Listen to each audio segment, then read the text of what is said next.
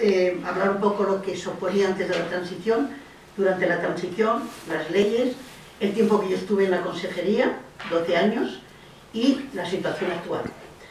Mm, bueno, lo primero que hay que destacar yo creo que es que en, España y también en la Comunidad de Madrid, la, durante la democracia, los avances en la educación han sido muy importantes, muy, muy importantes. En este momento yo creo que, a pesar de que hay Mm, de que la calidad y la equidad en, Madrid en concreto mm, está muy lejos de ser alcanzada, eh, sí que se puede decir que, que, a pesar de las debilidades y de los problemas que tenemos en la Comunidad de Madrid, tenemos un sistema educativo que ha llegado a todos los ciudadanos. Los años anteriores a la transición, mm, eh, si algunos que están aquí, yo creo que recordarán, yo desde luego lo recuerdo, se fue consolidando en Madrid sobre todo, bueno, en toda España, pero Madrid hizo un fuerte movimiento, entonces llamábamos de enseñantes, ¿eh? alrededor de dos instituciones, podríamos decir, alrededor del Colegio de Licenciados en Madrid, también en, Barcelona hubo un movimiento muy fuerte alrededor del Colegio de, Licenciados y eh, también alrededor de los movimientos de renovación pedagógica. Justo en el año 1975 se aprueba en el Colegio de Licenciados en una asamblea que yo recuerdo muy bien y que a lo mejor algunos recordaréis, de 1.500 personas, éramos todavía, éramos jóvenes entonces, se aprobó la alternativa de enseñanza, una alternativa que planteó las bases de la escuela pública.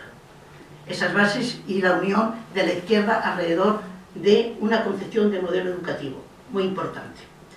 También en, en ese año, 1975, tuvo eh, la primera escuela de verano de, acción educativa.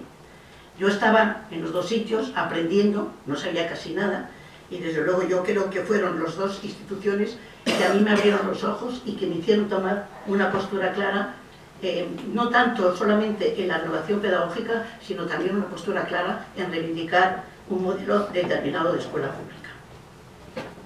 No me quiero extender de eso, pero es algo que que me hubiera gustado hacer porque además aquí encuentro algunos amigos desde entonces.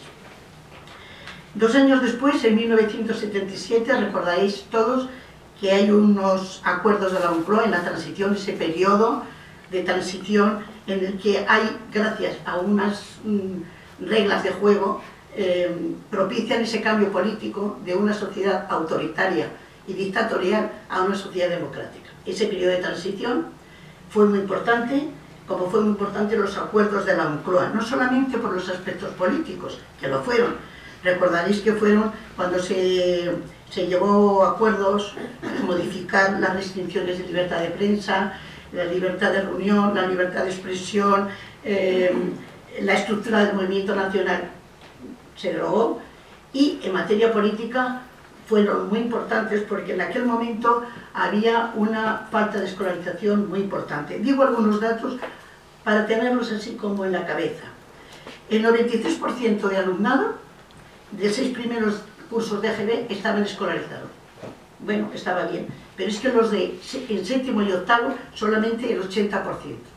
La escuela iba, iba dejando fuera a los niños y el 50% de la población de 14 años no llegaba a secundaria. Eso en el año 1977. Por tanto, había un problema muy importante, ahora hablamos del fracaso escolar, pero es que el fracaso escolar a los 14 años era del 50%. Bueno, la tasa de escolarización de los niños de 4 y 5 años era de un 63% y un 10% de 2 y 3 años. Es decir, era una, eso en Madrid era una situación bastante tremenda, me parece a mí. Bueno, pues los acuerdos de la Moncloa lograron a nivel general gastar 40.000 millones de pesetas, se crearon 400.000 plazas de, educación general básica, 200.000 de preescolar y 100.000 de nivel de bachillerato unificado polivalente. Os podéis imaginar que estos acuerdos de la Moncloa fueron muy importantes y eh, es muy curioso porque a la FERE no le gustaron nada. Yo recuerdo en aquel momento cómo la FERE se oponía a que se creasen tantos, porque la, eh, la enseñanza privada ascendía en ese momento a nivel del Estado, tengo el dato, el 60%. Y parte de esa enseñanza privada venía subvencionada por unas subvenciones que eran fuertes y que no tenían ningún requisito. Bueno, En octubre de 1978 se aprueba la Constitución, todos lo recordamos. Ese artículo 27 de la Constitución establece ese equilibrio entre las dos posiciones que la izquierda y la derecha viene arrastrando desde el siglo XIX. Es decir, ese equilibrio entre el derecho a la igualdad, muy defendida por la izquierda, y el derecho a la libertad y a la creación de centros, muy defendido por la derecha. Se llegó a un equilibrio con tensiones y concesiones y renuncias por ambas partes, pero se llegó a situar esos dos derechos, el de igualdad y el de la libertad, en el mismo plano jurídico y político. Obviamente, todos sabemos que los distintos gobiernos no han sido, no han aceptado este equilibrio y según unos u otros, sea el equilibrio más por la igualdad o más por la libertad, como ha pasado en Madrid por la libertad de creación de centros, no la libertad concebida como libertad de cátedra y libertad del alumnado, libertad de conciencia, no, entendida como una libertad de creación de centros y libertad de elección.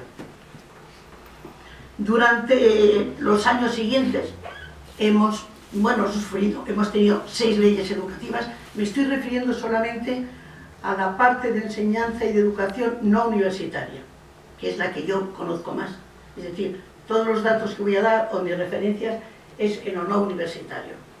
Bueno, pues las seis leyes, todas lo tenéis en la cabeza, recuerdo, por si alguno no lo recuerda, primero la LOECE, no tuvo ninguna incidencia educativa, pero sí que fue el primer paso donde la UCD sesgó hasta el principio de libertad, de tal manera que los partidos de la oposición, el Partido Socialista y el Partido Comunista, recurrieron a algunos artículos del Tribunal Constitucional, los aceptó.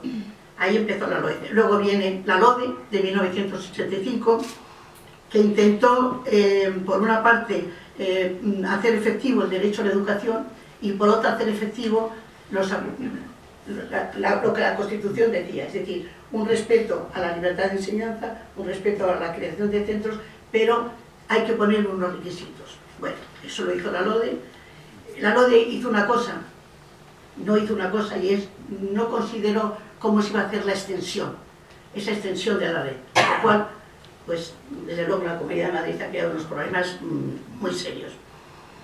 Todos, no, no sé si todos, pero algunos de los que estáis aquí recordaréis que en 1987 el ministro Marabal inicia eh, elevar la calidad de la enseñanza a través de reformas experimentales, una modalidad nueva hasta el momento. La reforma de la educación preescolar con planes experimentales, la reforma de las enseñanzas medias y la reforma de la formación profesional.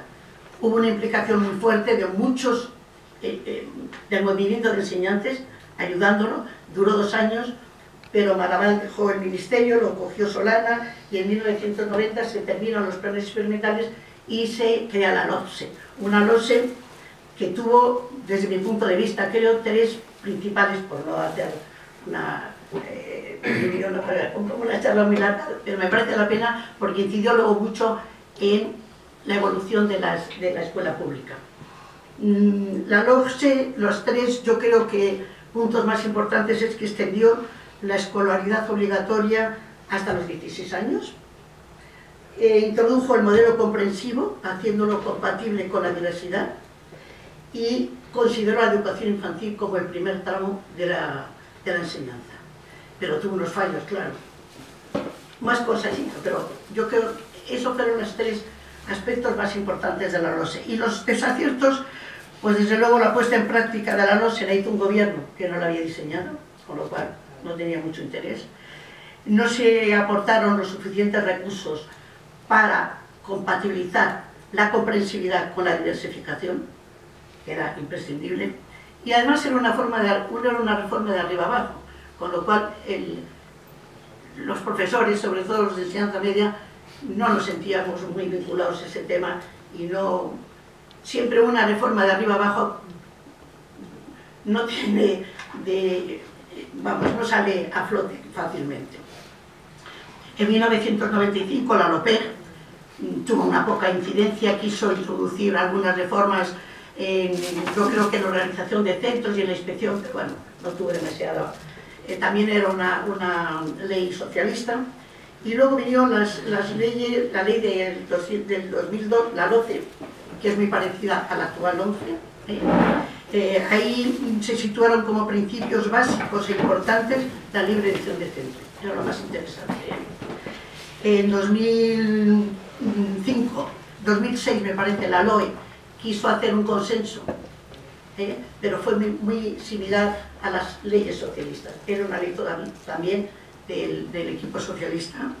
Y ahora tenemos la 11 de 2013, que vuelve otra vez a eh, someter la programación de la red de centros a la demanda social, es decir, a privatizarlo lo más posible, disminuye la participación democrática eh, de los órganos colegiados y entiende la calidad educativa, por decirlo de alguna manera, eh, por los resultados de los estudiantes.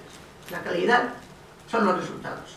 Bueno, durante estos años recordar también que hubo cuatro pactos frustrados, es decir, la sociedad eh, necesita, también los políticos lo consideraron así, el hacer pactos para llegar no a este vaivén. Es muy curioso, los pactos. Empezó en el 97 con un pacto promovido por las organizaciones sociales. Era la declaración conjunta a favor de la educación. No la aceptó el PP y se frustró. En el 2004 el Consejo Escolar dice, vamos a llegar a un pacto escolar. En ese momento no fue aceptada por la CEAPA y por la CONCAPA. En el 2009, el ministro Gabilondo dice, vamos a intentar un pacto escolar de nuevo. El PP en el último momento dijo que no. Y en el 2017 ya el Congreso de Diputados dijo, vamos a ver si lo logramos. Tampoco se ha logrado. Bueno, vamos a ver si a partir del 28 podemos lograr un pacto escolar.